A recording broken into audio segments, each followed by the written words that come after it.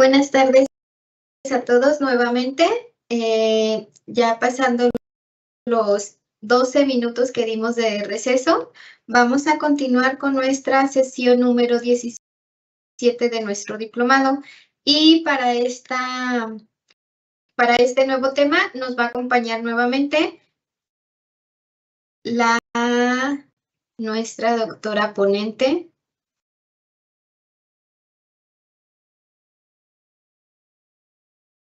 Bienvenida nuevamente, doctora. Gracias, gracias, buenas tardes.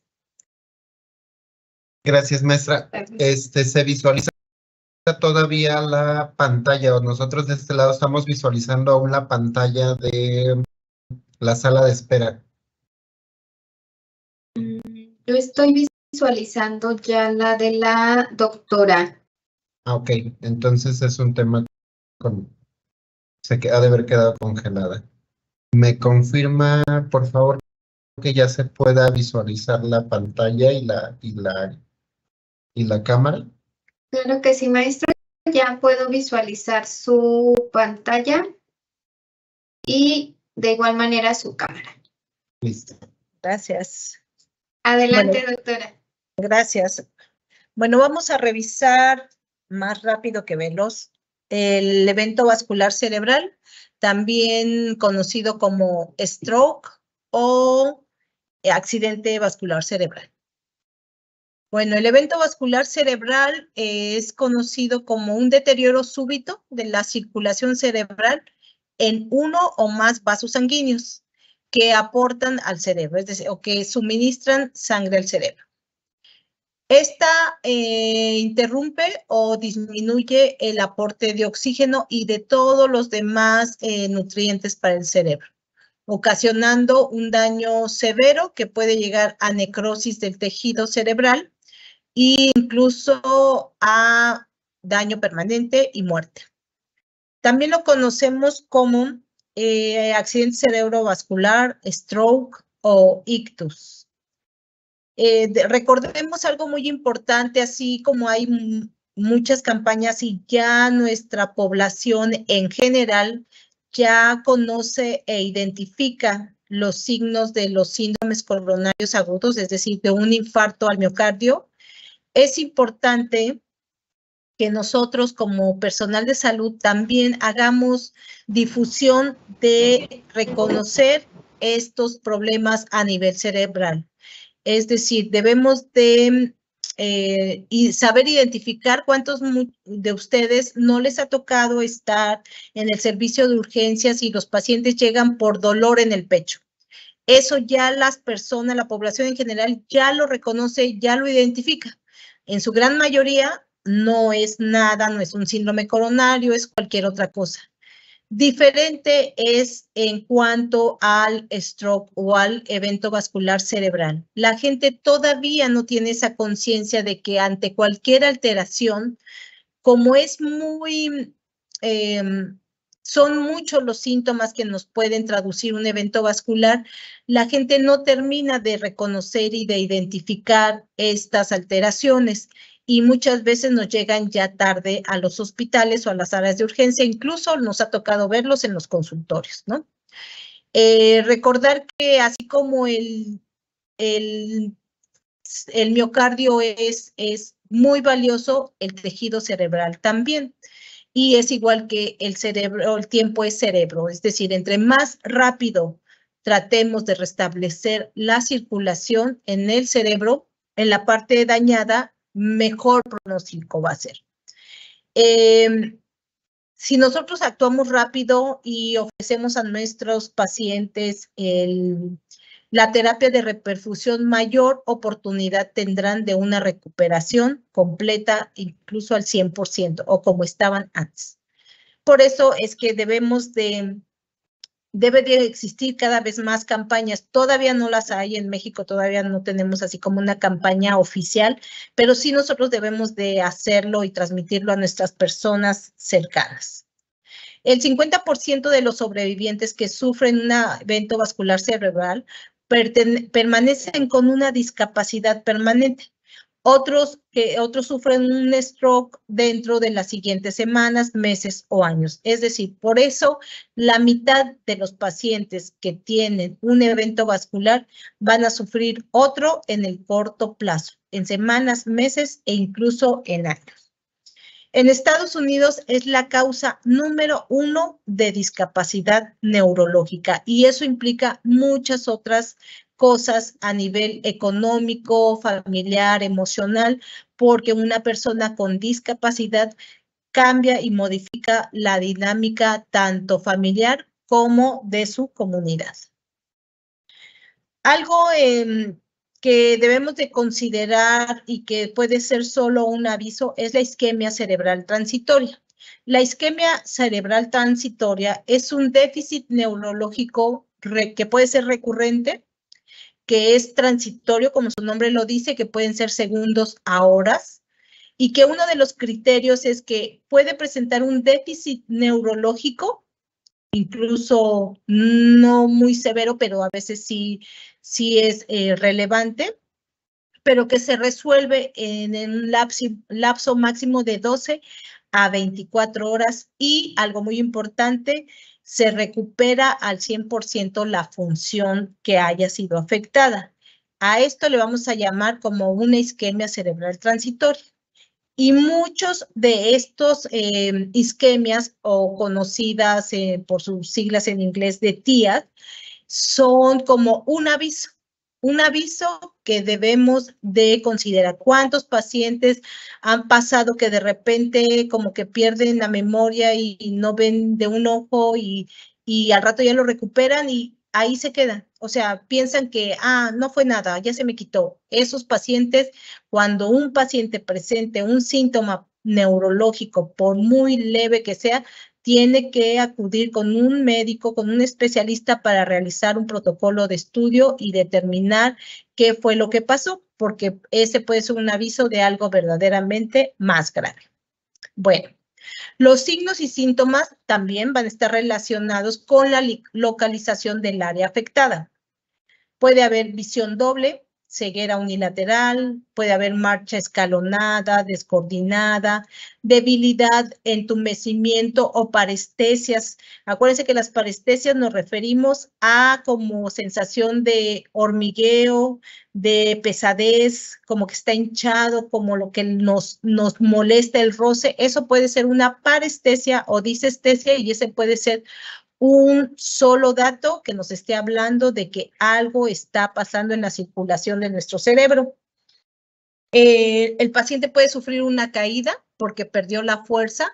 Siempre un paciente que llegue, que se cayó, siempre hay que preguntarle, a ver, ¿qué fue, cómo fue esa caída? ¿Cómo, qué fue primero? ¿Se sintió mal? ¿Se mareó? No, hay muchos que en la historia clínica nos dicen qué fue lo que pasó. Eh, puede haber mareo, déficit del habla, que arrastran las palabras, hablan muy lento, dicen cosas que no son.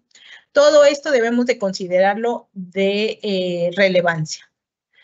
Em, como lo mencioné, este puede ser un signo de alarma de un evento vascular cerebral trombótico y generalmente del 50 al 80% de los pacientes que sufren un evento vascular isquémico tuvieron una isquemia cerebral transitoria antes, puede ser una semana, un mes, hasta un año previo a algo ya más grave.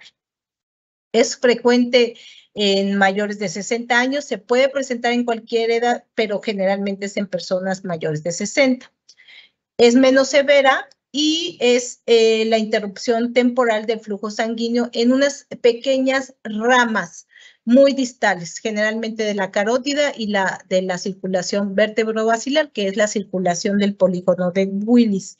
Esto provoca un vasoespasmo y eso mismo libera mediadores que hacen que ese coágulo pequeño se destruya y por eso se recuperan al 100%. Mm, existen diferentes factores de riesgo para cualquier tipo de evento vascular cerebral.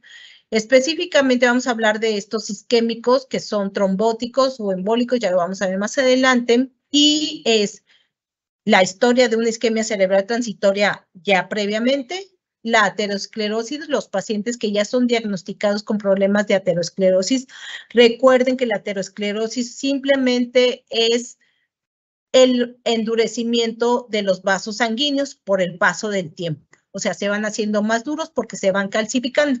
Bueno, eh, eso no es un diagnóstico que lo hagamos a primera vista ni al tomarle los exámenes de laboratorio. Es algo que se puede hacer, que lo hacemos como un hallazgo en una tomografía, en una placa de tórax, y muchas veces solo lo intuimos porque va asociado con la edad, pero no es un diagnóstico así como que usted tiene aterosclerosis, no, es, es algo que damos como por hecho. Sí se puede diagnosticar, pero no es de relevancia. La hipertensión, eso sí es muy común, o sea, los pacientes hipertensos tienen alto riesgo de hacer una isquemia cerebral transitoria porque ah, entendamos que la presión arterial, yo siempre, mm, mis mejores pacientes son los ingenieros. Los ingenieros porque entienden de lo que son tuberías, circuitos, flujos. Entonces, eh, los vasos sanguíneos son como una tubería que llevan agua. Entonces, esta tubería que lleva agua, cuando hay una alta presión, es decir, que hay mucha agua y el tubo está muy estrecho, pues la presión va a subir. Eso ocasiona que se vaya deteriorando las paredes de ese tubo y eso es lo que va a ocasionar que se formen pequeños coagulitos y que después se puedan desprender o eso mismo ocasiona que se haga, que se forme un trombo o, en el peor de los casos, que se rompa y ocasione una hemorragia.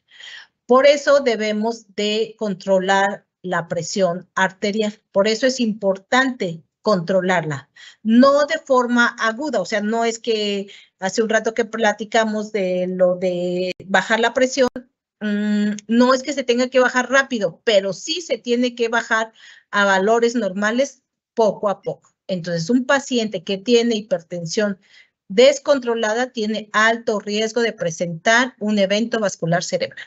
Bueno, arritmias. Las arritmias como la fibrilación auricular. Esto es decir, es decir que es, eh, sucede que al haber una arritmia se forman coagulitos en las zonas donde no se mueve adecuadamente el corazón y eso se pueden desprender e ir a la circulación cerebral.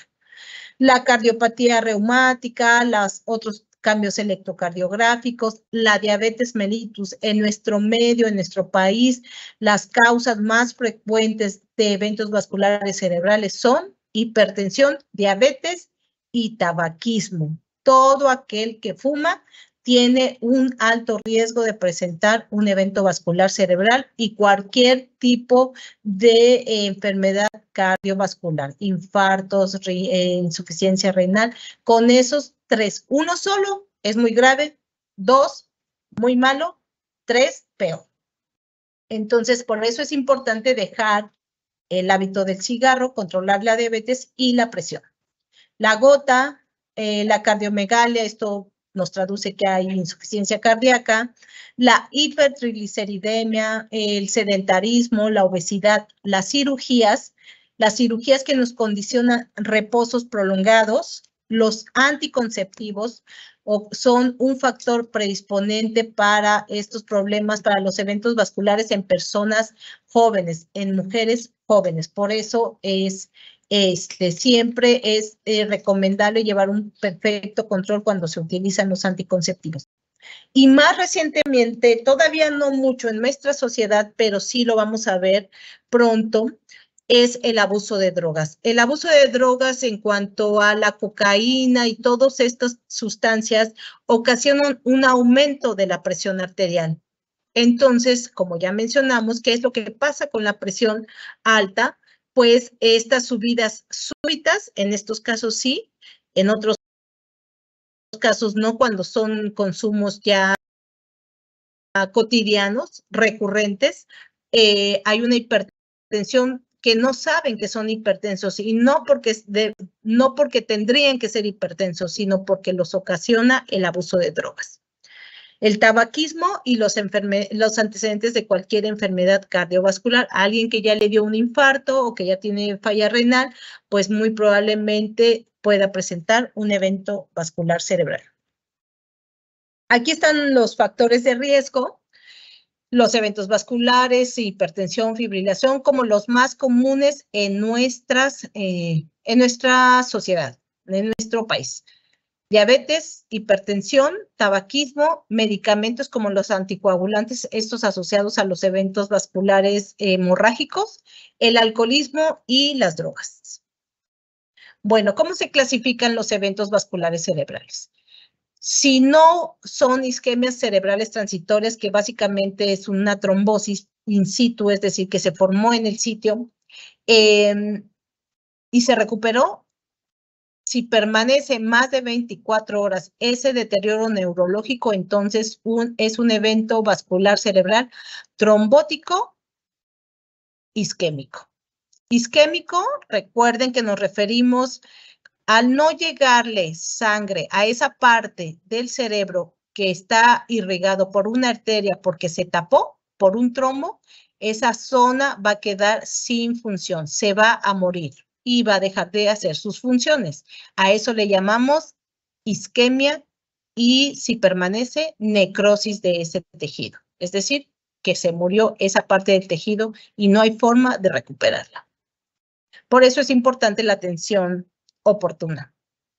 Lo ideal es prevenirlo, prevenir y quitar todos esos factores de riesgo, pero pero a pesar de todo lo que vemos y todo lo que sabemos, no siempre se puede ni tampoco todas las personas tienen acceso a, a los sistemas de salud. Bueno, la, ¿cómo se clasifican los eventos vasculares cerebrales? En trombosis, trombóticos, embólicos y hemorrágicos.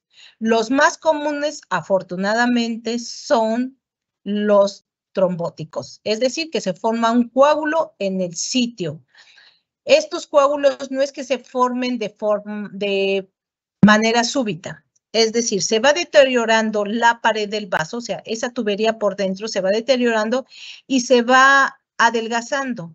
Y en algún momento se desprende una plaquita de eso que se está eh, lesionando y como mecanismo de defensa eh, se hace la agregación plaquetaria. Eso es lo que habitualmente pasa en cualquier lesión.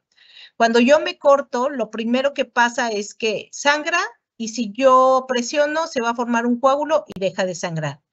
Eso pasa a nivel de cualquier lesión, sobre todo en los vasos sanguíneos.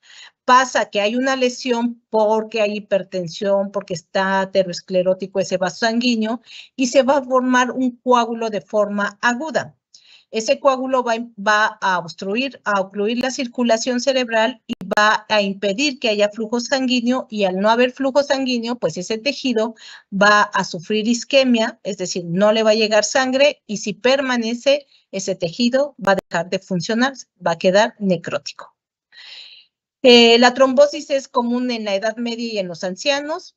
Em, es frecuente que haya obstrucción de los vasos extracerebrales, es decir, los de que están más abajo, las carotidas como los vimos, y algunos intracerebrales.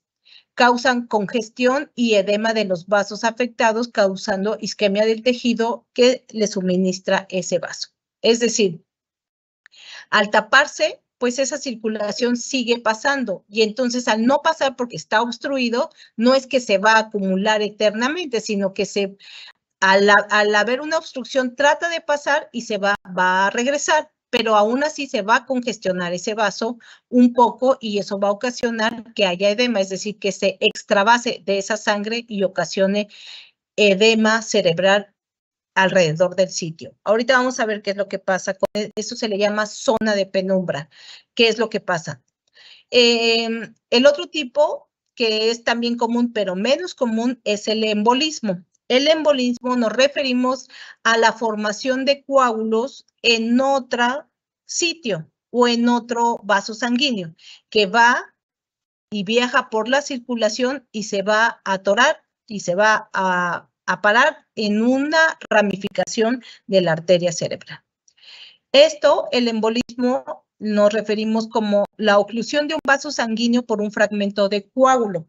Eso es lo más común, pero también puede ser un fragmento de tumor, grasa, bacteria, aire o esto lo vemos en la endocarditis, en la, en la fibrilación auricular, en las valvulopatías postraumáticas o en la cirugía cardíaca. Es decir, se puede desprender cualquiera de estas e irse a alojar a la circulación cerebral. Eso se le llama un evento vascular embólico. El resultado es el mismo. Hay isquemia y por consiguiente, si no se hace nada, va a haber una zona de necrosis.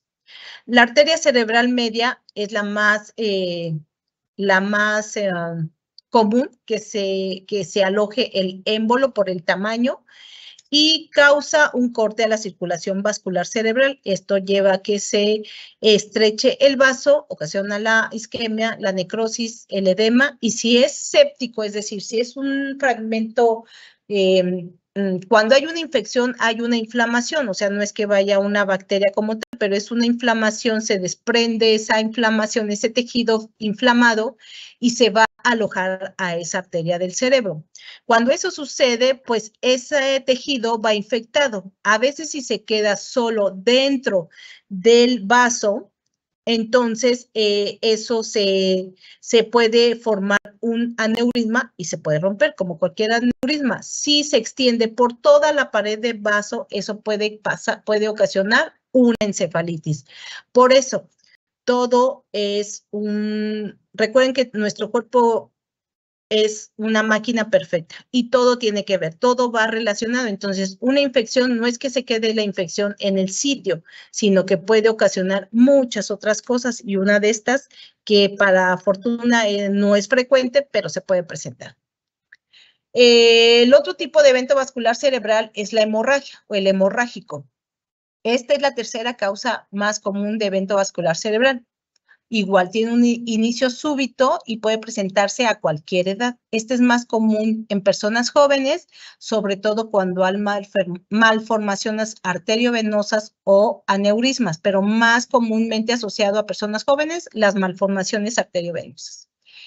Em, puede ser súbito, afortunadamente es menos frecuente, pero desafortunadamente tiene un peor pronóstico, son más graves, son más severas. Eh, la hemorragia es la ruptura súbita de una arteria cerebral. Eh, puede estar asociada a hipertensión o a un aneurisma o a una malformación arteriovenosa.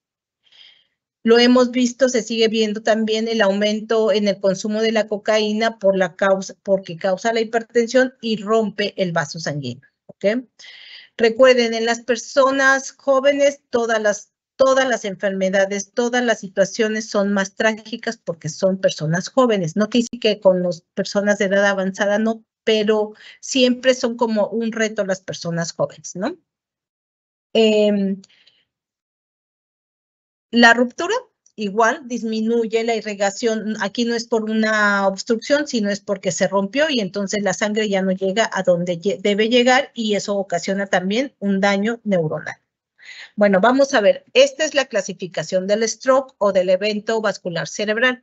Recuerden eh, familiarizarse con el término de stroke porque eh, muchos, este, hay muchos eh, programas, muchos este, artículos donde solo se conoce como stroke. Entonces, una, es una palabra en inglés que debemos estar familiarizados con ella y se refiere a un evento vascular cerebral. Bueno, aquí vemos que está eh, dividido en hemorrágico e isquémico. Como ya vimos, el embólico y el trombótico. El embólico es de grandes vasos y el trombótico es de pequeños vasos. ¿Por qué? Porque son los que más se van deteriorando. Entre más pequeño el vaso, pues mayor deterioro, se va formando el coágulo y por eso es el más común el, trombótico. El embólico, como puede ser de cualquier, em, ya sea séptico, aire, grasa, este coágulo, pues debe ser más grande y se va a alojar en un vaso más grande. Eso es de peor pronóstico porque porque entre más el vaso sanguíneo, como lo vimos este, en el polígono de Willis, entre más grande el vaso, pues es mayor el daño, ¿no? Eh, también está el hemorrágico. Aquí tenemos el hematoma subdural y el hematoma epidural. El hematoma intraparenquimatoso y la hemorragia subaracnoidea. Aquí Estos dos son, son este es un intraparenquimatoso, este es una hemorragia subaracnoidea. Si, se, si ven, aquí se llega a formar lo que es eh, toda esta sangre está en todas las cisuras y todo lo, aquí están los ventrículos, aquí tiene, este es un hematoma subdural, este es un, este es uno isquémico, esta zona oscura es la zona que ya no está funcionando, es la zona necrótica, así lo vamos a ver. Este es el cerebro normal, y aquí sí, si alcanzan a notar, se ve la diferencia de la sustancia gris y la sustancia blanca. Estos son los ventrículos que están muy grandes, están dilatados. Quiere decir que esto está demasiado grande y está haciendo que se obstruya la salida de líquido cefalorraquídeo. Ay, perdón. Esta es un evento vascular trombótico de pequeños vasos. Si se dan cuenta, prácticamente está normal. Esta es una resonancia, esta no es una tomografía. Esta es una tomografía. Este está normal. Esto quiere decir que es un evento reciente. Bueno. Aquí está eh, la clasificación, como lo habíamos mencionado, es cardioembólico, que puede venir, el émbolo puede venir del corazón, y eso es como la causa más común de evento vascular embólico viene del corazón y es asociado a una arritmia, como es la fibrilación auricular, que es la más común, a valvulopatías y endocarditis. En la endocarditis lo que se envían son émbolos sépticos. Entonces, eso, cuando un paciente tiene endocarditis, es probable que presente un evento vascular cerebral de tipo embólico. La hipoperfusión, aquí sí ven, aquí se está enviando los émbolos, los coagulitos a la circulación. El 80% de, los, de los eventos vasculares son isquémicos o trombóticos y se distribuyen según las causas. 26% no es exacto, pero es un acercamiento, son ateromas de grandes vasos, es decir, se forman en los grandes vasos, el 24% en enfermedades de pequeños vasos y el 20% son embolias de origen cardíaco y el 30% son de otras causas, aéreos, grasa, este, sépticos. Si ven esta tomografía, ven toda esta parte que está aquí negra, esta zona ya no está funcionando, ya está muerta. Es una, este es un infarto cerebral grande, tan grande que esta rayita blanca debería de estar aquí derechita. Quiere decir que esto está desplazando la línea media y todo esto tiene edema cerebral importante. Y es porque el cráneo no permite que esto se expanda. Em, Aquí ya vimos lo de la isquemia es el déficit neurológico tisular que resulta de la falla hemodinámica, es decir, al no llegar, eh, estar obstruido, no llega flujo sanguíneo y nada de lo que sucede con la presión de perfusión va a resultar en esa zona.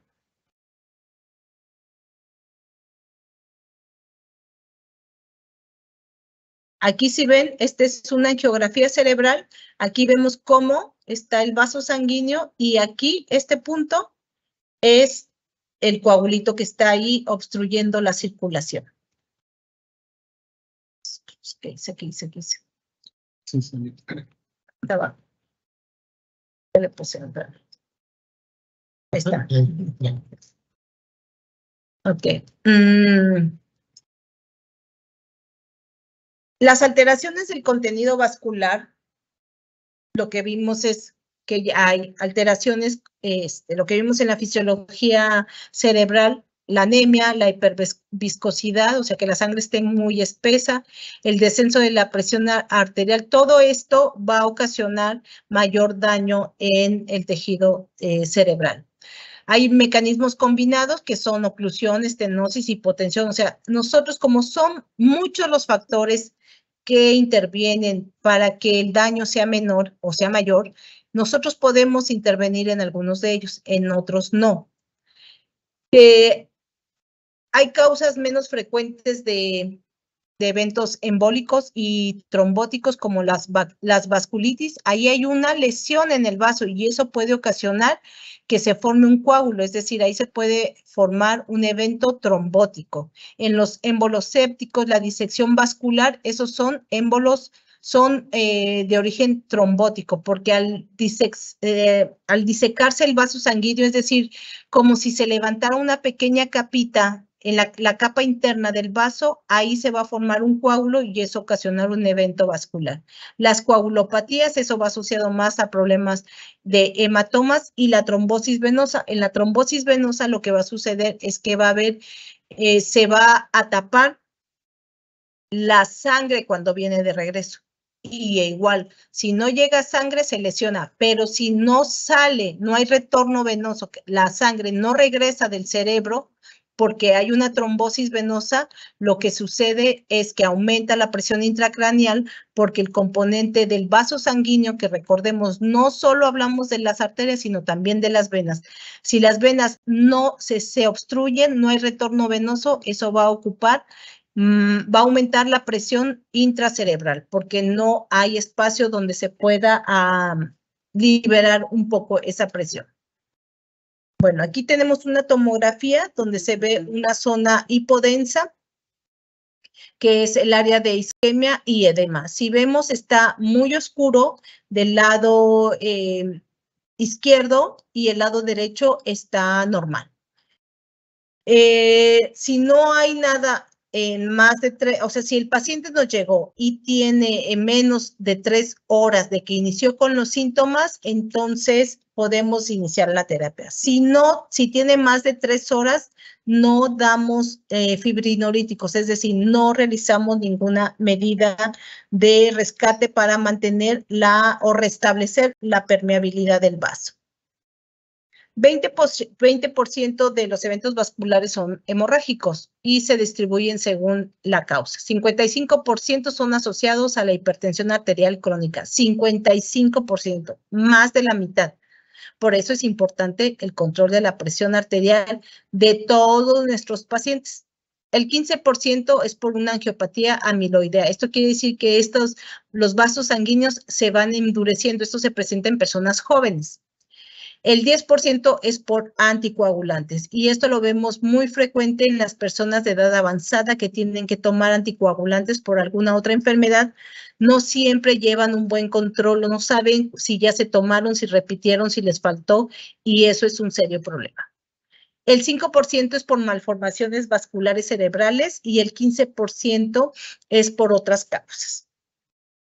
Aquí vemos la zona blanca es sangre, es una zona hiperdensa. Hay una gran hemorragia intracerebral e igual, si ven, está abierta a ventrículo. Aquí lo vemos.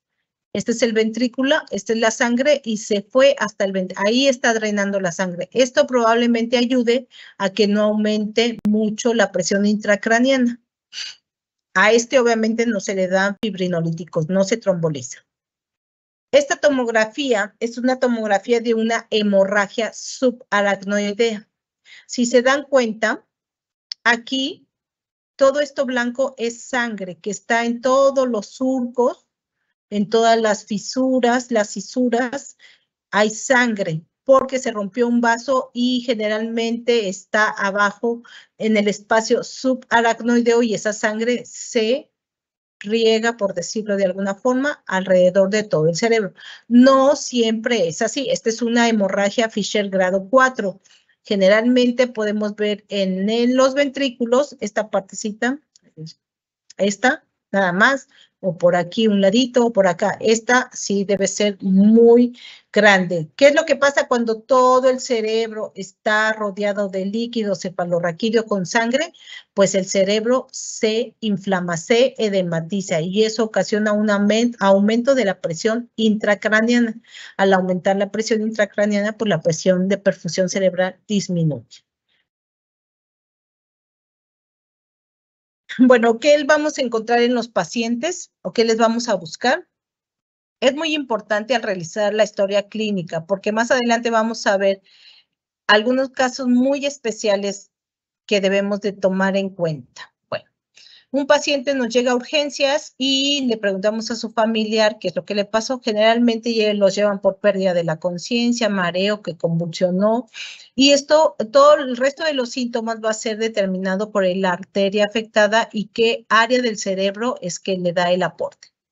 De ahí va a depender la severidad del daño y em, nosotros debemos de evaluar la función motora y la fuerza muscular.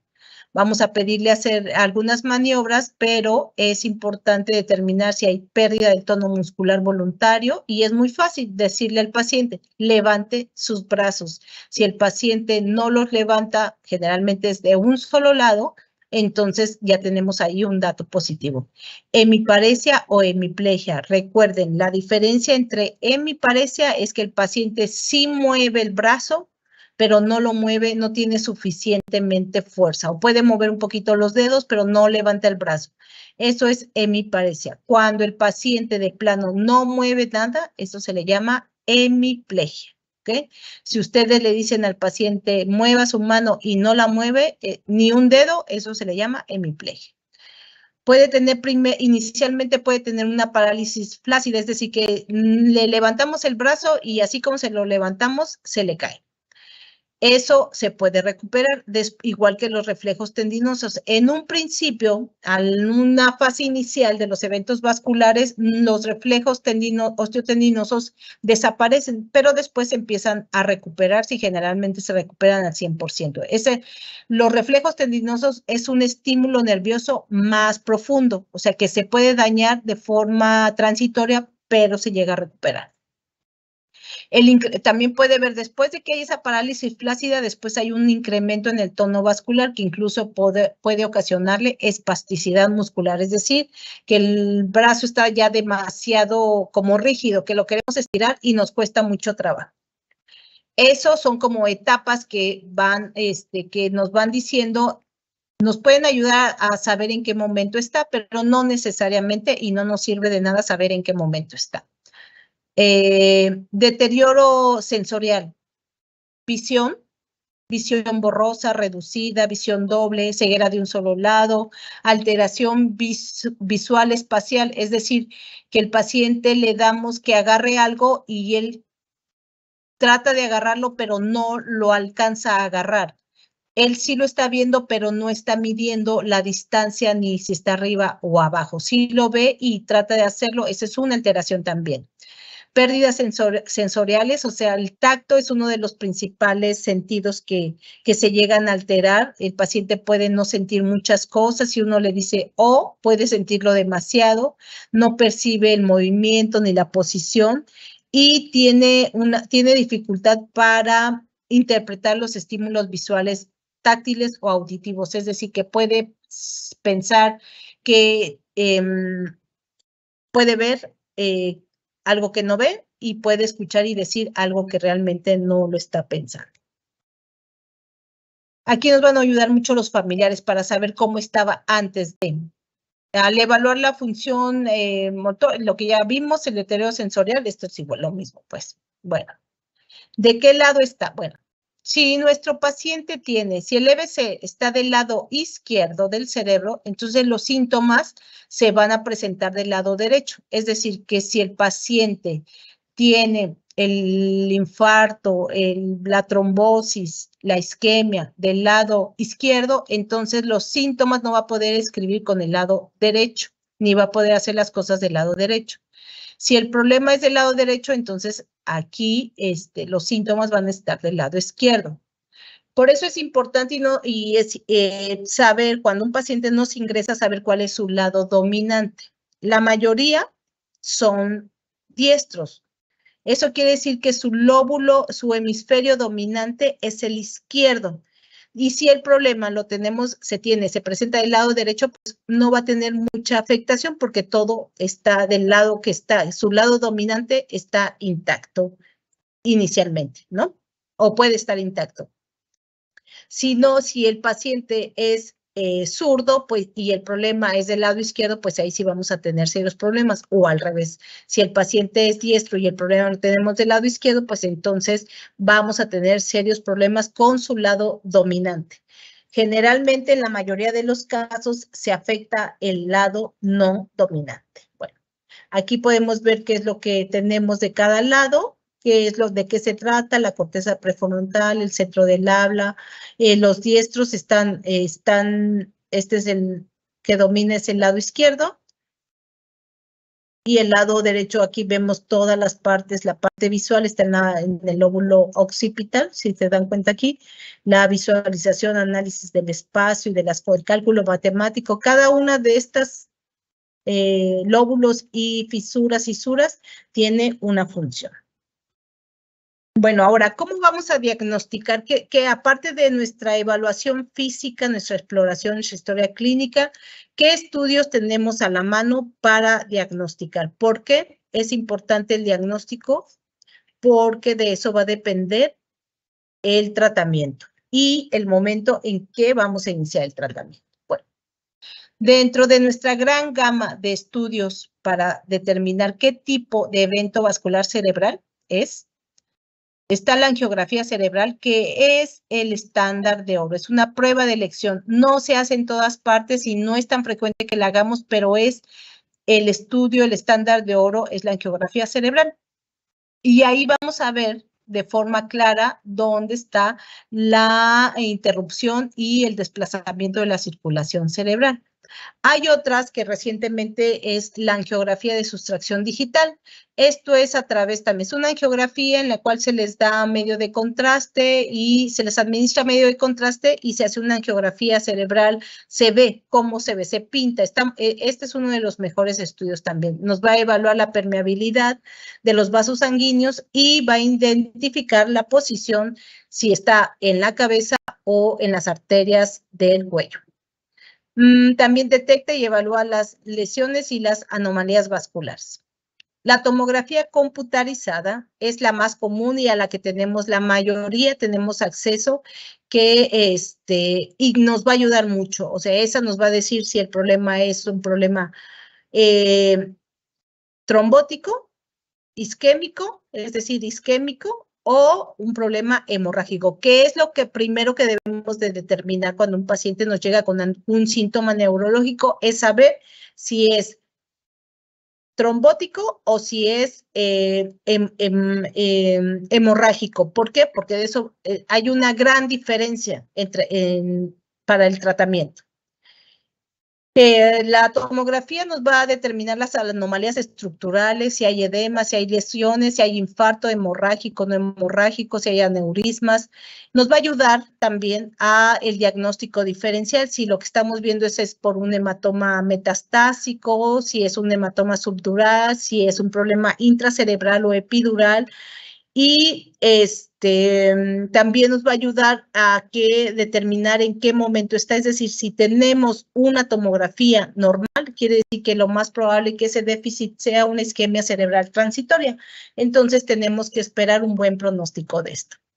También existen otros estudios que no todos tenemos a la mano, en la tomografía por emisión de un solo positrón, que es muy parecida al PET, que es la tomografía de emisión por, por positrones, que es mucho más confiable, lo, pero del PET es que no hay en muchos lugares en México. Esta nos va a decir cómo está el metabolismo cerebral, si hay cambios de flujo sanguíneo, si es un EV6 químico o no. La resonancia magnética y la angioresonancia magnética nos va a proporcionar más detalles o eh, de cómo está la circulación, dónde está la circulación, dónde hay un desplazamiento y nos va a ayudar como una prueba de elección. Es una prueba de elección. Angiografía, la resonancia magnética y la angiografía cerebral. Aunque la tomografía es la que nos ha sacado de más apuros, ¿no? La angiografía de sustracción digital, el, doble, transcranial, la oftalmoscopía, electroencefalografía y el ultrasonido del nervio óptico. Esto nos va a ayudar, pues ya más bien nos van a servir como para el monitoreo de los pacientes. Difícilmente nos van a ayudar a descartar, pero sí nos van a contribuir a mm, determinar o identificar diagnósticos diferenciales. Bueno, el cerebro tiene una hora dorada, es decir, en el primer se necesitan tres minutos para la pérdida irreversible del cerebro. Entonces, por eso es importante que en la primera hora ya el paciente esté recibiendo tratamiento. Eh, por eso nuestros sistemas de atención prehospitalaria deberían de ser, eh, deberían de estar familiarizados con esto. Pero, aunque ellos estuvieran familiarizados, si nuestra población no está familiarizada con los términos de los eventos vasculares cerebrales, no nos van a llegar o no nos van a llamar. Bueno, la hora dorada se refiere a que el tiempo entre que el paciente entra a la sala de urgencias y lo valora un doctor debe, no debe de pasar más de 10 minutos. De que, el de que lo valora el doctor a que se le realiza la tomografía, 15 minutos más. Si el paciente es candidato a trombolisis o trombectomía, no debe de pasar más de 60 minutos. En 60 minutos ya nosotros debemos de saber si el paciente es candidato a trombolisis o no. Tenemos una ventana de tres horas hasta tres horas y media y con esto nosotros eh, podemos utilizar la trombolisis si es candidato o no.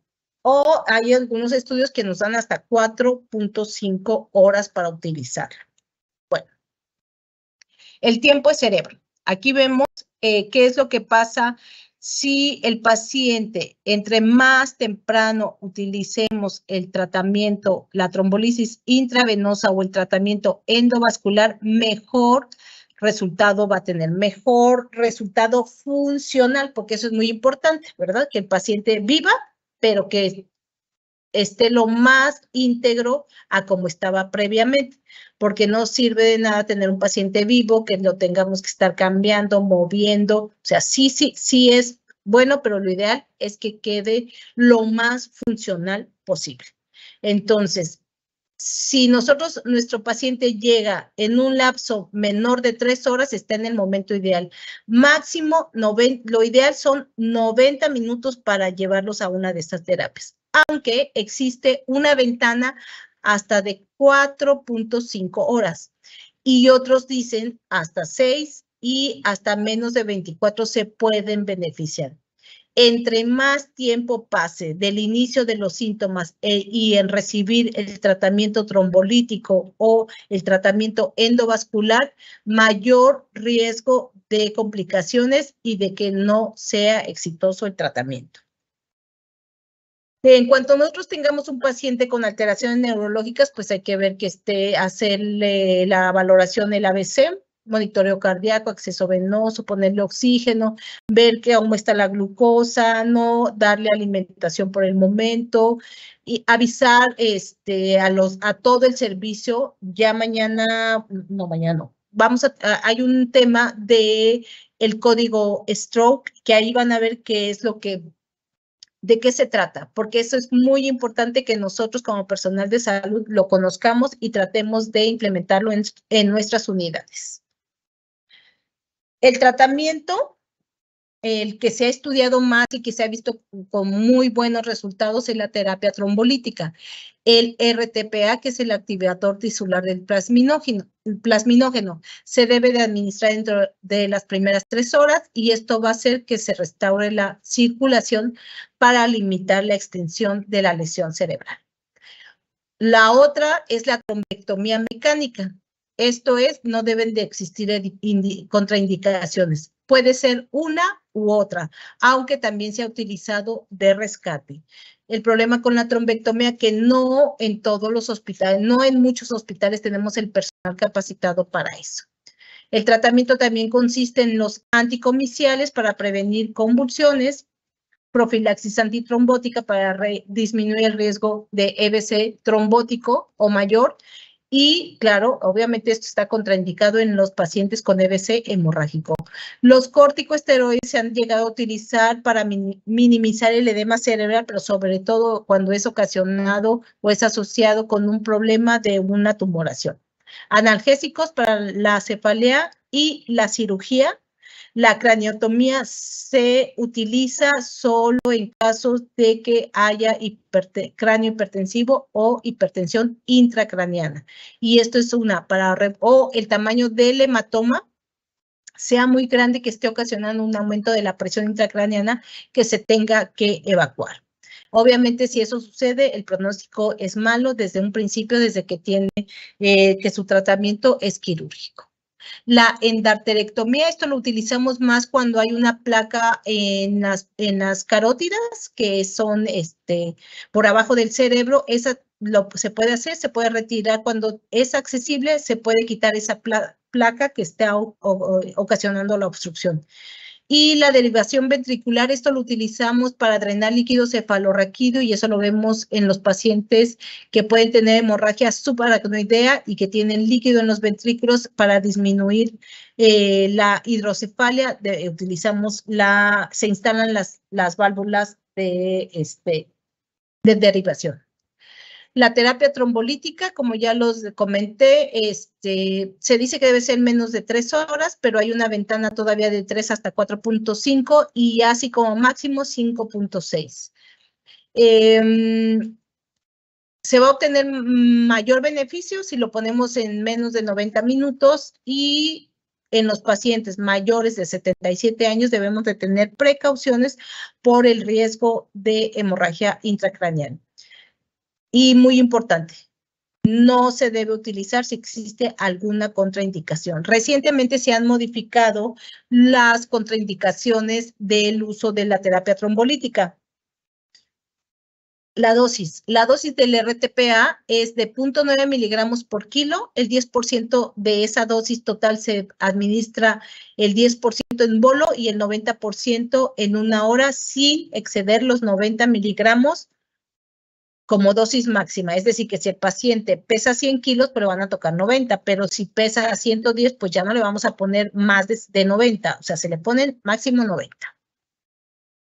Eh, las contraindicaciones, la terapia, el, traumatismo craneoencefálico severo, o sea, un paciente que tuvo traumatismo craneoencefálico severo en algún momento está contraindicada, la hemorragia intracraneal reciente, la hemorragia subaracnoidea, la cirugía intracraneal o intraespinal, el cáncer gastrointestinal o sangrado gastrointestinal antes de, de 21 días se debe de hacer con precaución. Está contraindicado cuando hay sangrado activo, sangrado interno activo a cualquier nivel, hipertensión descontrolada, lo que habían mencionado, con presiones mayores de 175, 110. En estos casos lo que se hace es controlar la presión y lograr bajarla un poco para dar el tratamiento. Coagulopatía, y el, evento vascular hemorrágico. Estos son los que hasta ahora están como contraindicaciones. Se removieron algunas como el EBC isquémico de tres meses previos, sospecha de endocarditis y de, endocarditis infecciosa y también la disección del arco aórtico, la neoplasia intracraneal o intraxial. Y otra que em, otra contraindicación que existía es cuando en, en una tomografía se veía una imagen hiperdensa que no se sabía qué era, pero que no parecía hemorragia. Antes no se tomaba como si fuera una hemorragia y era una contraindicación. En este en, actualmente hay que consensarlo. Para eso son los equipos eh, de respuesta rápida y el código stroke que debe de estar integrado por un equipo de especialistas que van a determinar a qué paciente sí y a qué paciente no. El, la terapia trombolítica en la, que se ha estudiado más es el activador dicelular del, plasminógeno, pero también hay otra que, que tenemos que es accesible, que es la tenecteplasa. Este medicamento también es un trombolítico que ya se está estudiando, se han visto buenos resultados, pero aún así todavía falta más y en un futuro probablemente sea una segunda opción para la terapia trombolítica. La trombectomía mecánica, esta está indicada en mayores de 18 años, que tengan inicio menos de 6 horas, buen estado físico previo y que haya una presencia de una oclusión intracraneal proximal, es decir, que esté cerca porque van a entrar a sacar ese trombo. Si está muy arriba en una arteria muy chiquita, pues nunca van a llegar, ¿no? Eh, las consideraciones generales es que este, se debe de considerar como un estándar en todos los pacientes con EBC isquémico, que haya una oclusión de la arteria carótida intracraneal en su segmento M1 de la arteria cerebral media, es decir, que lo más bajito que esté es donde pueden entrar a hacer la endarterectomía. La trombectomía, perdón. Eh, mejora sustancial el resultado de la función y dentro de las seis horas de inicio de los síntomas es segura, eh, es una opción en la oclusión vértebro-basilar aguda y no hay un estudio de imagen que nos diga a este va para trombectomía y este va para trombolisis. O sea, tenemos que hacer un consenso para nosotros, para, para tomar la decisión de qué vamos a hacer. Claro, si tenemos eh, o el equipo, eh, tanto físico como médico, para hacerlo, la trombectomía tiene menos riesgos de hemorragia, entonces por eso es que es un método seguro. Em, ¿Qué hay que hacer? Cuando los pacientes, em, siempre que les preguntamos eh, cuándo empezó los síntomas, para justamente tomar el tiempo, eh, si estamos en ventana o no para iniciar el tratamiento. Pero hay pacientes que no sabemos cuándo empezó, es decir, pacientes que se durmió, estaba bien, y al otro día amaneció y estaba con alteraciones. o nadie lo había visto y hoy lo fue a ver la hija y vio que estaba así y el paciente no sabe cuándo se puso mal. Bueno, esos pacientes también son, como no sabemos si ya pasaron 3, 4, 5, 6, 10 horas o 24 horas, la trombectomía mecánica es una opción para ellos. Aquí vemos cómo inicia la zona de penumbra. Esta es la zona de infarto. Aquí es donde se tapó la arteria y aquí está la zona de infarto. Aquí no le llega sangre. Pero toda esta zona está afectada. O sea, esta es la zona que se puede afectar, es la que se llega a ver en las tomografías, que nos dice toda esta zona se puede afectar. Este es el momento para nosotros iniciar el tratamiento, para tratar de destapar esto y que esta zona que parece que no le va a llegar sangre si no hacemos algo por destaparla, no pase esto y se convierta en esto. Cada vez esta zona de infarto es mayor y la zona de penumbra también. Y cuando ya de plano pasaron más de 24 horas, vean la zona de infarto. Quiere decir que esta, la penumbra isquémica, pues ya prácticamente la abarcó todo el infarto o toda la zona de necrosis. Ya no hay forma de recuperar este terreno y esto es porque nos tardamos o el paciente llegó más de 24 horas. Las complicaciones, las complicaciones de esto es la inestabilidad hemodinámica, el descontrol hipertensivo, la pérdida del control vasomotor, es decir, los pacientes pueden estar hipotensos y de repente hipertensos y de repente ya están normales y al rato esto es porque hay una pérdida del control a nivel central, a nivel neurológico del control vasomotor. Puede haber desequilibrio hidroelectrolítico, desnutrición, infecciones muy frecuentemente asociadas a las infecciones como la neumonía, la infección de vías urinarias, la embolia pulmonar por la, el reposo en cama, la broncoaspiración y las pérdidas sensoriales, es decir, la visión, pérdida de lenguaje, alteraciones para, para volver a comunicarse con sus, con sus familiares, los problemas del juicio, todo esto va mermando la calidad de vida. Por eso es importante iniciar con, de forma temprana el tratamiento. Bueno, quiero presentarle unos casitos para que ustedes me, em, me ayuden eh, a responder ¿qué es lo que harían? Es importante, esto es un escenario fuera del hospital, ¿no? Pero como personal de salud, pues a lo mejor podemos ayudar, podemos, queremos hacer algo, a veces no nos animamos porque no sabemos qué hacer y preferimos no hacer. Em, vamos a hacer un caso hipotético. Es un paciente que, que está en un centro comercial y súbitamente se desmaya ustedes eh, llaman a la ambulancia y llegan y encuentran a una mujer que está sentada en la banca, está sentada, se encuentra confusa, pero responde al estímulo verbal. Ellos me pueden contestar cómo. A través del grupo de WhatsApp. Ah, ok, bueno, a través del grupo, alguno que quiera contestar me va a decir, ¿Qué eventos creen, qué, creen que le pasó a la, a la señora que se desmayó, que ya ahorita está sentada, que está confusa, pero responde al estímulo verbal? Ellos nos escuchan aproximadamente 30 segundos posterior, entonces.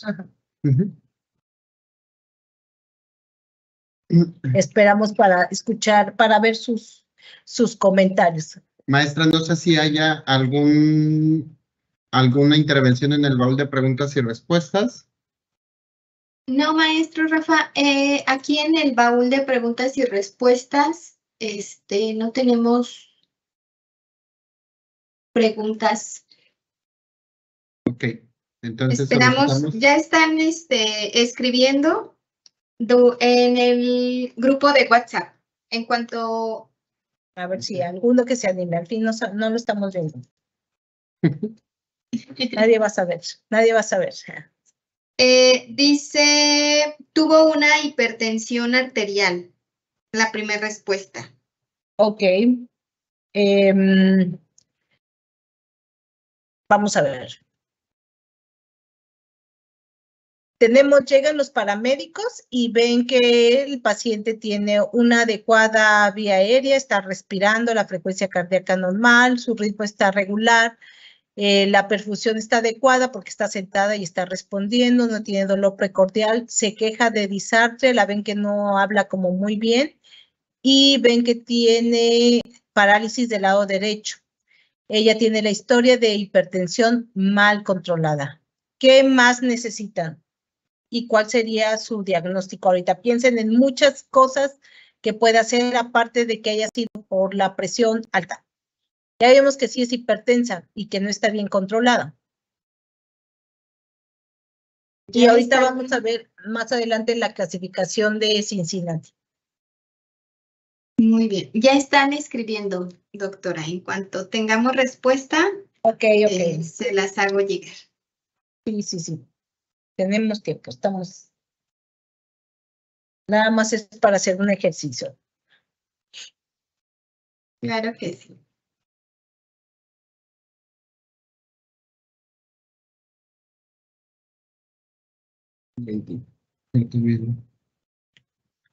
Lo que se les ocurra, no es examen. Ya después les mando las preguntas. A lo mejor esta va a ser una pregunta de examen, así es que mejor pregunten ahorita. Están respondiendo.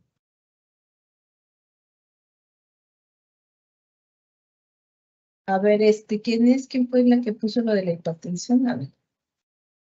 Ya tenemos una respuesta, doctora. Dice Ok. Joana Lisset, podríamos sospechar de un EBC hemorrágico por el dato de la hipertensión sin tratamiento. Ok, vamos a ver. Vamos a ver, aquí es donde tenemos que empezar a hacer nuestros diagnósticos diferenciales, ¿no? A lo mejor cuando se cayó, se golpeó, este, tiene alguna otra cosa. Quiero que, que cuando nosotros veamos un caso clínico, veamos un paciente, veamos todo integralmente, porque a veces nos, nos quedamos con ciertas cosas em, que nos- nosotros le llamamos distractores, porque eh, es como, eso puede ser, pero no nos casamos con eso. Puede ser que sea la hipertensión, pero eso más bien sería la causa de. Vamos a ver si este, estos serían como todos los diagnósticos.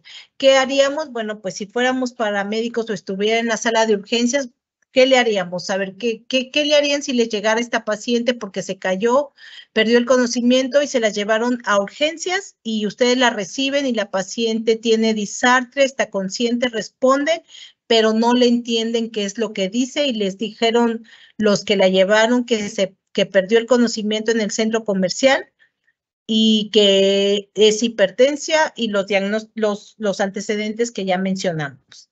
¿Qué le hacen?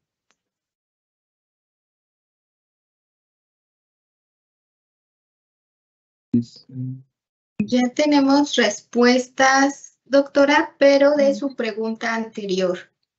Eh. María Teresa dice que puede ser un EBC hemorrágico del lado izquierdo. Este, Guadalupe dice que puede ser un EBC transitorio. Joana dice que necesitaríamos conocer la situación y actividades que se encontraba haciendo antes de desmayarse y qué síntomas experimentó. Ok, no estaba haciendo nada, estaba caminando en el centro comercial y súbitamente se desmayó. ¿Y qué más información, Juan Carlos? Está consciente, les responde, pero está disártrica.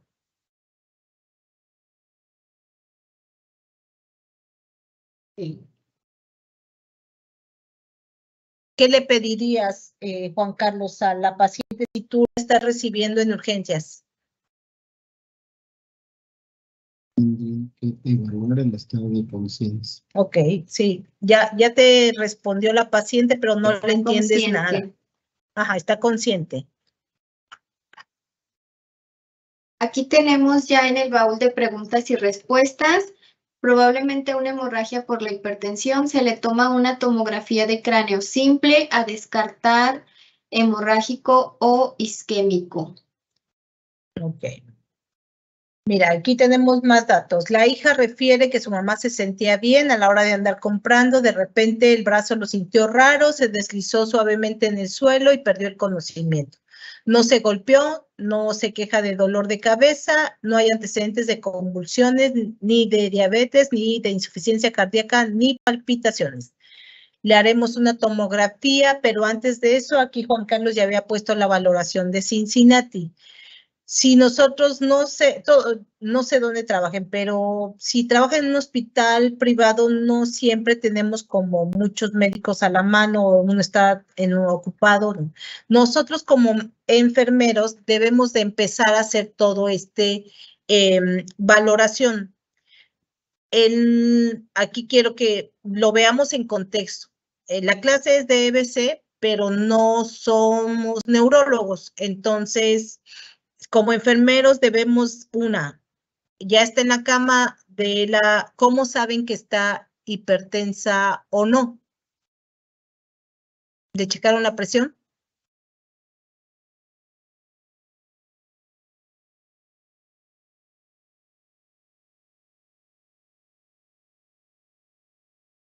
Este, Podemos utilizar hiciera utilizando la escala de Cincinnati, posterior interrogar acerca de medicamentos utilizados y hora de último comido. Ok, a ver, Joana, eh, muy bien, ya me dices, podríamos utilizar la escala de Cincinnati. Eh, ver qué, com- qué medicamentos utiliza, la hora de la comida y, ok, confundido Aquí con tenemos cosa. Ok, otra respuesta que es A monitorizar, eh, dice en el baúl de preguntas y respuesta, uno, monitorizar para empezar a valorar.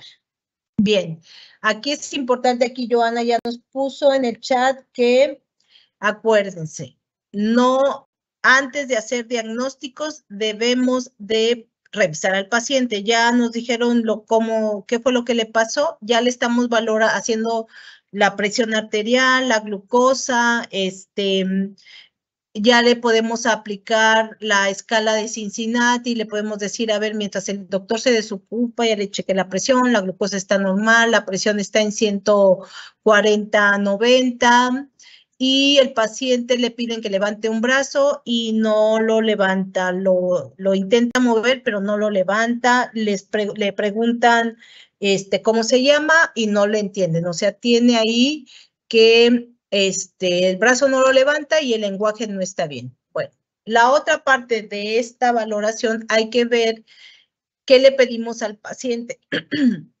para ver la asimetría facial.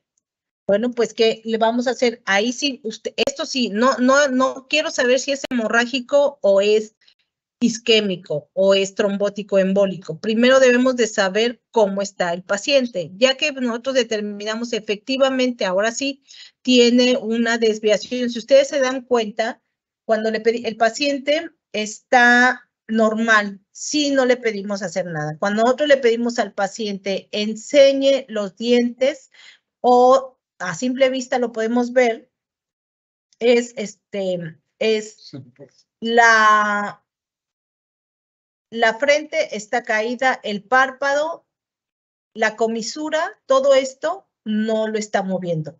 Si este es el lado sano, este es el lado enfermo. Entonces, nosotros con esta valoración, con la de Cincinnati completa, ver la valoración facial, los brazos, y el lenguaje podemos determinar que paciente tiene un EBC. ¿De qué tipo? Ahorita lo vamos a ver. No es hipoglicemia porque la glucosa está en, en 115 y la presión está alta, pero tampoco. Acuérdense que puede ser la causa, pero no porque sea hipertenso, el paciente que es hipertenso es más frecuente que haga una, eh, un EBC eh, trombótico, más que un hemorrágico. Eso que les quede claro. No se casen, no, no, se, no se queden con que el paciente hipertenso es igual a EBC hemorrágico.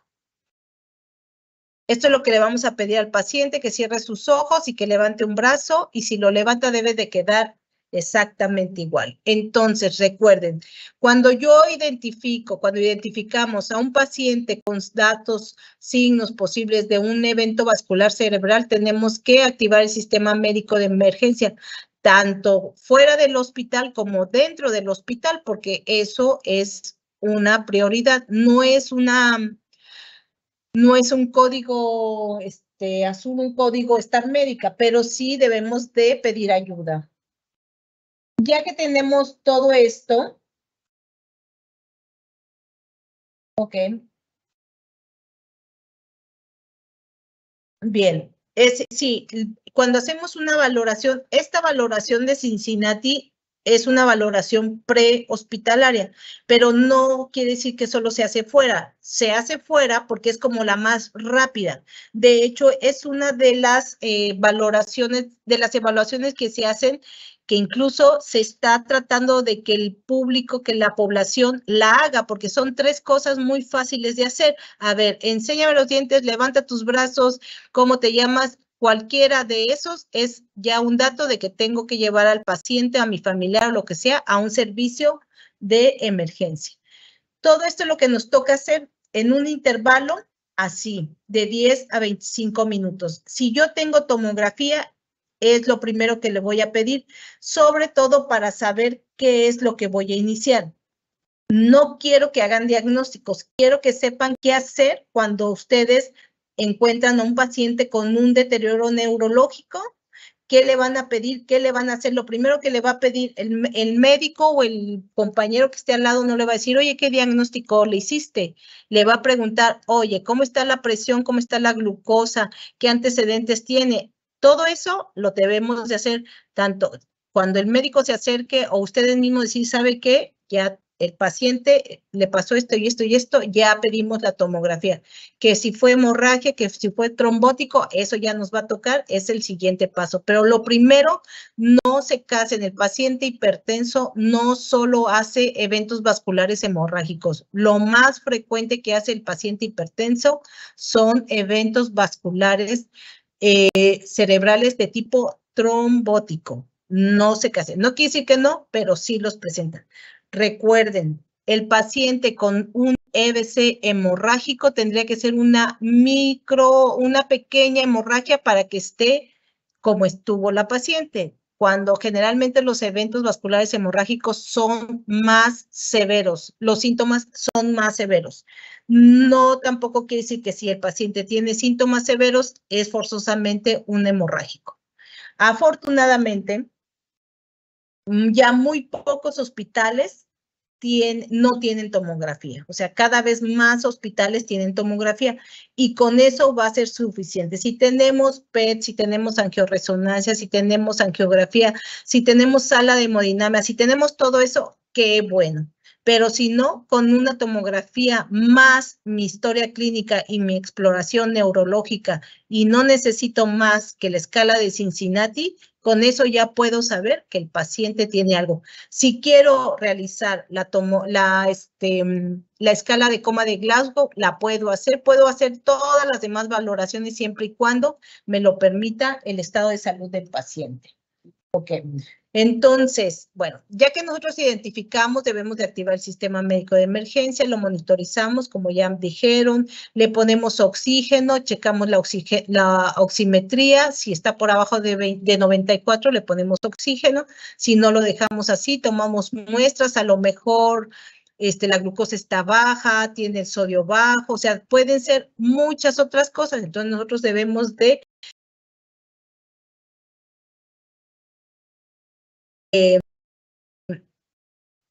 lo más rápido que tenemos en muchos hospitales es la tomografía, porque si yo le pido, y la glucosa y la oximetría, ¿no? Si yo le pido a lo mejor electrolitos séricos, bueno, pues si no fue cambio de grupo, no fue cambio de turno, pues seguramente los vamos a tener para el siguiente turno. Entonces, todo eso nos va a ayudar a descartar en caso de que tengamos una tomografía normal. Para eso vamos a formar nuestros equipos de respuesta rápida o nuestro código stroke. Em, hay que pedir la valoración neurológica, la vamos a hacer nosotros para que cuando llegue el médico, el especialista, ya le tengamos algo de adelantado. Si en la tomografía no es hemorrágico, entonces debemos de considerar el tratamiento fibrinolítico, es decir, la trombolisis o la trombectomía mecánica. Si es hemorrágico, tenemos que consultar al neurólogo, al neurocirujano, va a depender del tamaño. Si es una hemorragia muy grande, en muchas ocasiones se tienen que meter a quirófano. Cuando no, se espera que esa sangre no haga más daño, que no ah, ocasione eh, tema cerebral o que este, para que no se tenga que operar. Y muchas veces, si es pequeña, solita se va a reabsorber. Y el tratamiento sí va a diferir. Si el paciente tiene un, hemor tiene un EBC no hemorrágico, entonces el tratamiento es la trombolisis y de ahí vamos a hacer una vigilancia estrecha por el riesgo de que pueda convertirse en hemorrágico. No es común, pero lo debemos de estar vigilando. Doctora, tenemos una pregunta aquí en el baúl. Dice, a, estos pacientes se les toma electrocardiograma?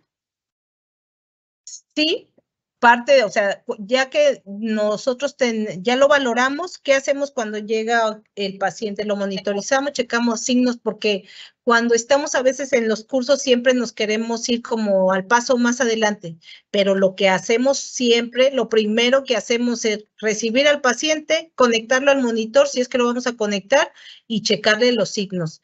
Eso lo hacemos como en automático y a lo mejor como que lo damos por hecho y no lo decimos, pero hay que hacerlo hay que repetirlo, se hace esto, le tomo la glucosa, le, lo canalizo, le tomo exámenes y lo preparo para la tomografía, ¿ok?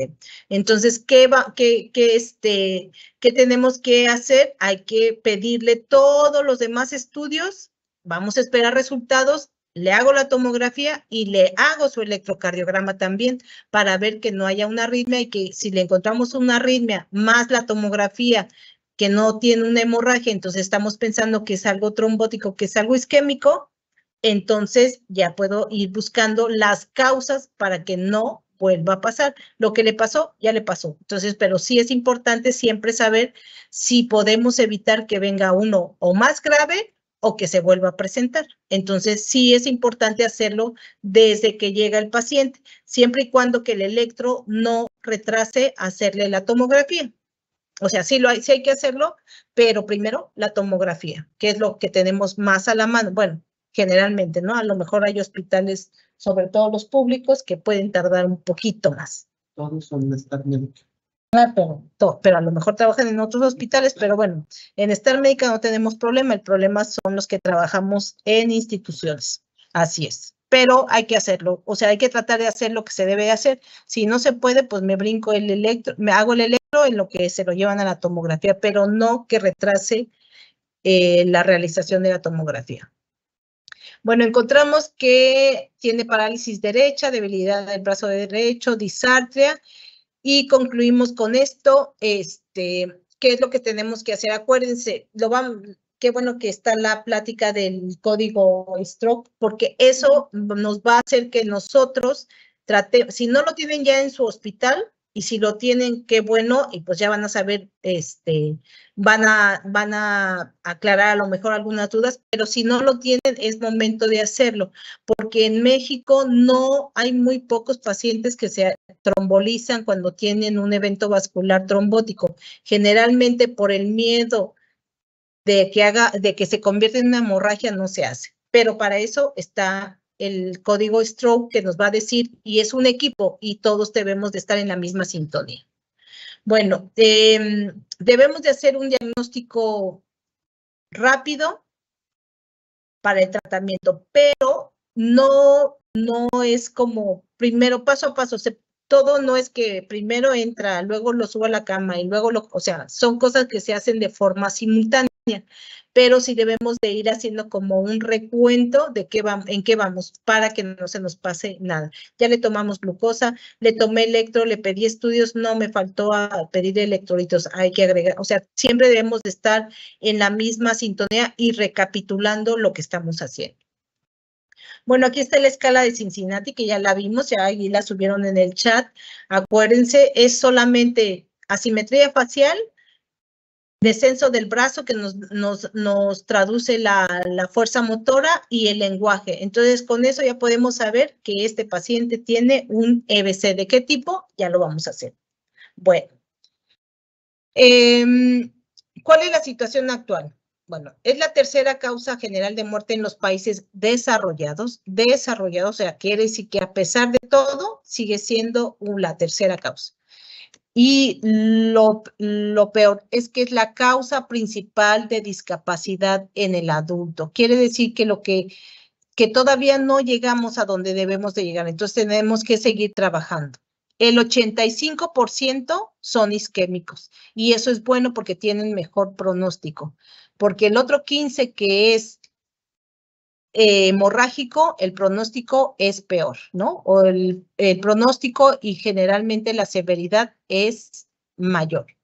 Menos del 5% de los pacientes reciben trombolisis, o sea, de esos 85, 5%, o sea, vienen siendo como, como cuatro, menos de cuatro pacientes reciben, o sea, no es nada, o sea, nada, nada de paciente. Debemos de hacerlo, no, no debemos yo ni tú ni Rafa, sino todos en equipo, ¿no?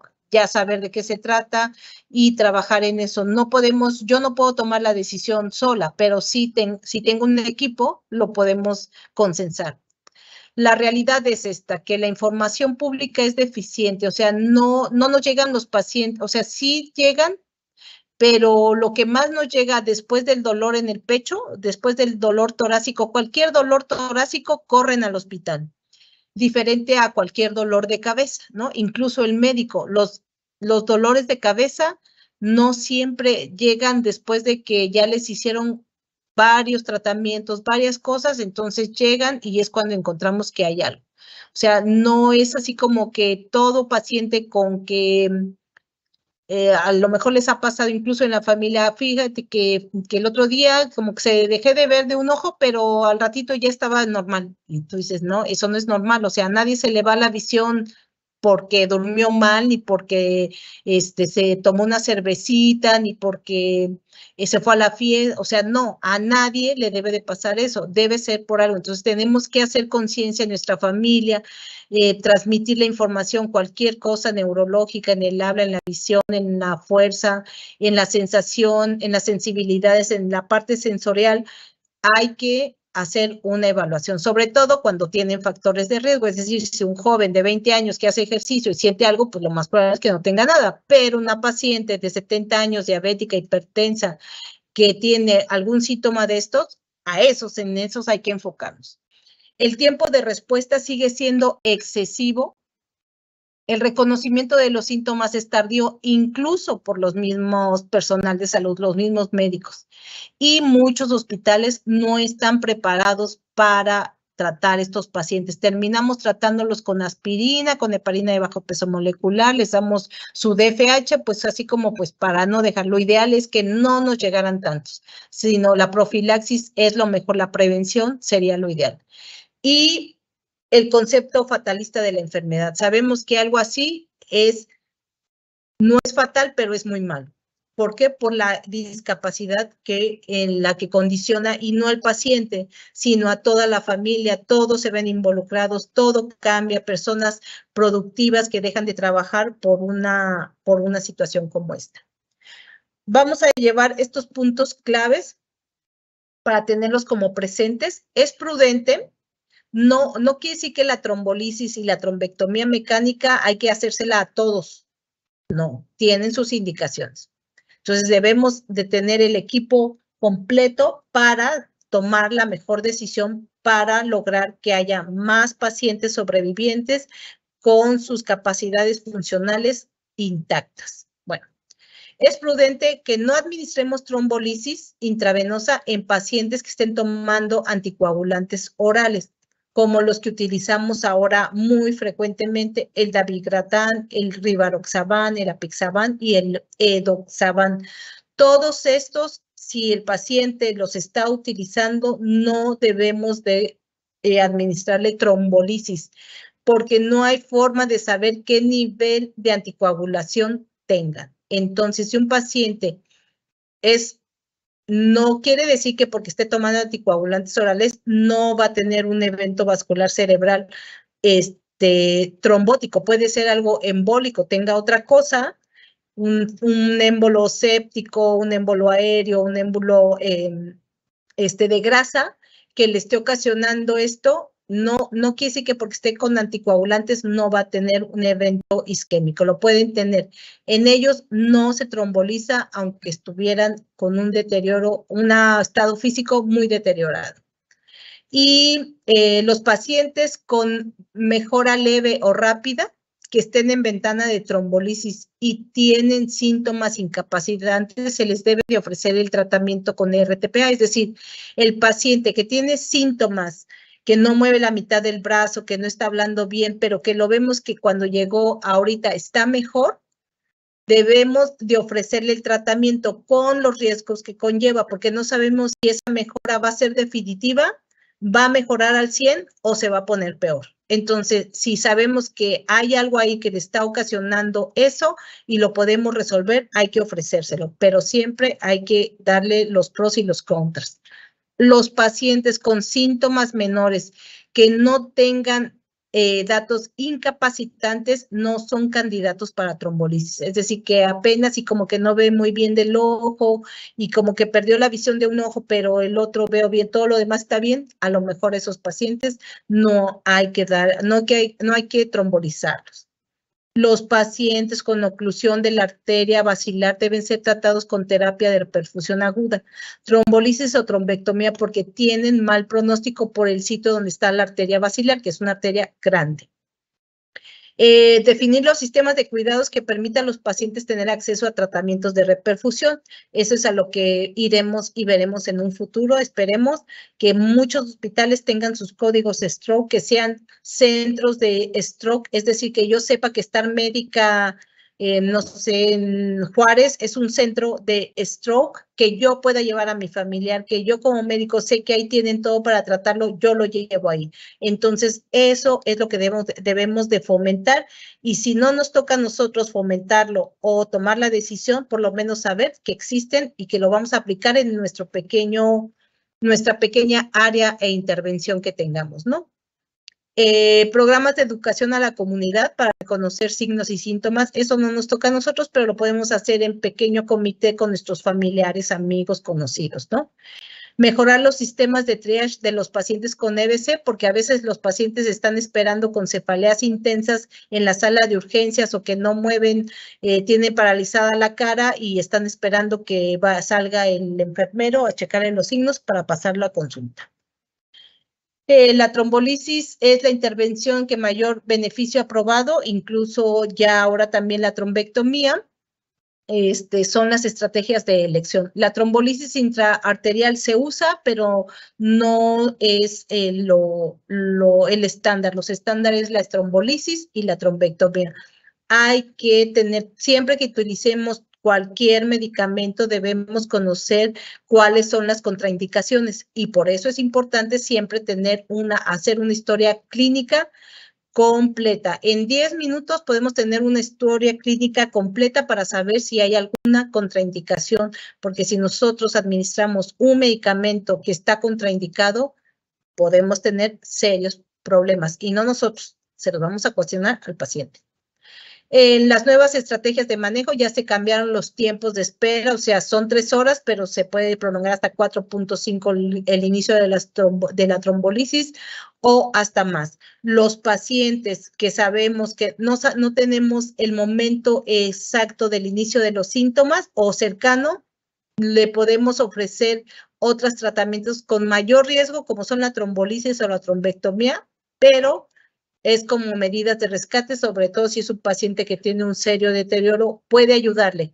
Puede ser que no, se tiene que valorar el riesgo-beneficio, porque todos los trombolíticos que utilizamos, bueno, que en ese momento solamente está aprobado el RTPA, este, el riesgo es que pueda ser una hemorragia, que se vuelva a convertir en, lo que es isquémico, se convierte en una hemorragia. ¿Por qué? Porque el coágulo se destruye y se sale toda la...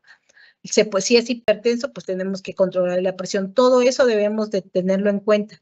Por eso, repito, la historia clínica es de vital importancia para todo lo que nosotros vamos a hacer. Ahí está la clave de si sí se lo pongo, si se lo pongo mucho, poquito, si no se lo pongo hoy, mañana o cuando se lo pongo.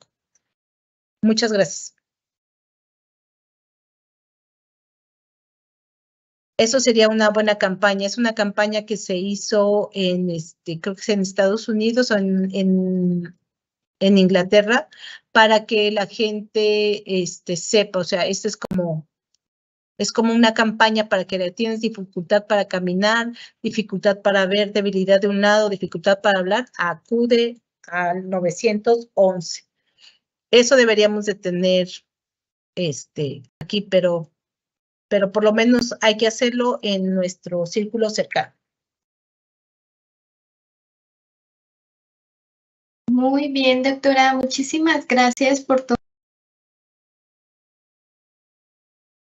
por toda esa información tan importante, ¿verdad? Que estoy segura que nos va a servir a todos.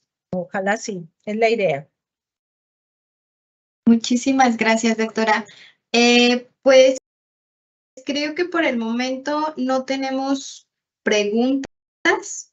No sé si vayan a surgir más adelante, más sin embargo, ahorita este, no tenemos preguntas en el baúl ni en nuestro chat. Ok, muy bien. Muy bien, doctora. Pues muchísimas gracias. Eh, le agradecemos de antemano por compartir todo esto con nosotros y pues bueno, ya veremos las calificaciones en la evaluación, ¿verdad? Ok, ahí veremos. Cuando este, no hay preguntas es que todo quedó muy claro. No, no es cierto, no es cierto. No, cualquier cosa, este, pueden a través del chat, ya Rafa me las, me las pasa. Aquí veo que este, no, pues en Veracruz está, estoy aquí, pero no, sí, es lo mismo. Sí, es, eh, no, no tenemos un buen sistema de salud, eso es un hecho. Este, no, no se tromboliza como se debiera, pero es por falta de hacer equipo y de tener los medios. A nosotros no nos va a tocar este, tomar la decisión si se hace o no, pero sí debemos de tener el conocimiento de que existe, cómo se hace, que, ¿no? A lo mejor no, este, no, lo voy a hacer yo, pero sí tener el conocimiento. Y este, las tomografías, sí, en cuanto tengamos un paciente, lo estoy checando, ya sabemos que estamos sospechando lo que puede tener, nos vamos a ir adelantando para que se vaya anticipando los tiempos, ¿no? De la tomografía, de la interconsulta con el, con el neurólogo, neurocirujano, y las tomografías son simples, o sea, son simples porque son, se tienen que hacer rápido. Entonces, si, si, si nos entra un paciente, a veces se tarda más en admisión dando los datos el familiar que lo que nosotros tendríamos que hacer. No nos toca a nosotros ni ponerle la heparina de bajo peso molecular, ni tampoco decidir si le pongo esto, si le pongo lo otro, pero lo debemos de saber para los cuidas. Cuando yo, cuando a mí me toque un paciente y lo tenga que cuidar, sé que tengo que ver los signos vitales, la presión, la glucosa, la oxigenación, que saber cómo están los electrolitos, si se le hizo tomografía o no, no si se trombolizó o no. Eso le tocará al especialista, ni a nosotros que somos intensivistas nos toca. Le toca al neurólogo y al neurocirujano, pero debemos de tener, si lo tenemos y lo y se va a hacer tener, bueno, que, que me toca a mí de respaldo. tengo una buena terapia intensiva, tengo el personal capacitado, tengo tomografía 24 horas, quien la interprete, o sea, todo eso sí podemos participar, no en tomar la decisión, pero es importante que sepan que hay opciones en caso de que se presenten, que hay tratamientos, cuáles son. No lo voy a hacer yo, ni yo lo hago, o sea, ni yo lo voy a tomar, pero sí sé que, que hay y que existe y lo tenemos aquí, tenemos tomografía y tenemos el monitoreo y tenemos todo eso. ¿Cómo se usa? Ya lo van a ver en las otras clases, todo ese monitoreo, pero ya tienen como en qué caso. La base. Muy bien, doctora. Así muchísimas, muchísimas gracias. No, de que saludos a todos. Muy bien, los felicito. Gracias, doctora. Saludos. Muy bien, en este momento eh, tienen en el chat de preguntas y respuestas la, el enlace para que puedan acceder a la evaluación del día de mañana. Y en este momento, eh, maestro Sebastián, si me apoya en, permíteme, permítame, déjeme, este, en compartir la el código QR de la evaluación.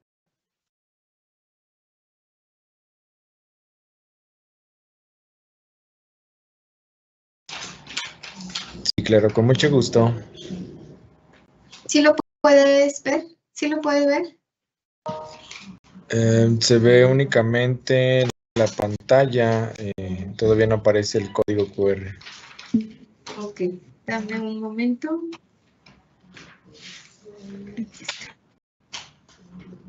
Ahora sí, vamos a, compartir el código QR de la, de la evaluación de la sesión número 17, es la que estamos viendo en pantalla. Ok. Eh, agregándole a esto, en lo que se está compartiendo el código QR referente a la actividad de logro correspondiente al módulo 3, eh, les comento, ya tenemos las actividades. Son tres opciones. Eh, les vamos a pasar por los grupos de WhatsApp. Pueden elegir, ya saben, les damos apertura que ustedes elijan la actividad con la que se sientan mejor y con la, de acuerdo a sus habilidades y a sus capacidades, pues con la que crean que van a, tener un mejor desempeño. ¿Vale? Este, se las vamos a mandar por WhatsApp. La verdad, creo que son muy sencillas. Simplemente eh, la idea es para reforzar el conocimiento y que estas actividades de logro les sirvan, que sean útiles para su lugar de trabajo. No sé si haya alguna otra indicación, maestros. De mi parte, ninguna maestra. Buenas tardes a todos. Gracias. Gracias. Ya de mañana. Muy bien. Eh, maestro Sebastián, creo que no sé si tenga alguna. No, únicamente para, para darles a conocer que el día viernes daremos el tema de código stroke este, en punto de las 3.30 y este, vamos a retomar muchos temas basales este, que dio la, la, doctora. Entonces, para que por ahí demos un repaso, pero adicional vamos a retomarlos únicamente, ¿sale? Para que estemos puntuales y que estemos más de 30, por lo menos 30 asistentes. Hoy estuvo muy bajo el índice de, asistencia, entonces, este, para que por ahí estemos presentes, tratemos de hacer el esfuerzo. Muy bien, maestro, gracias. Eh, ya tienen en el grupo de, en sus grupos de WhatsApp las actividades de logro, que era lo que les comentaba. Cualquier duda, pues ya saben que estamos a sus órdenes. Que pasen una excelente tarde y éxito en su examen. Nos vemos el viernes. Hasta luego. Adiós, hasta luego.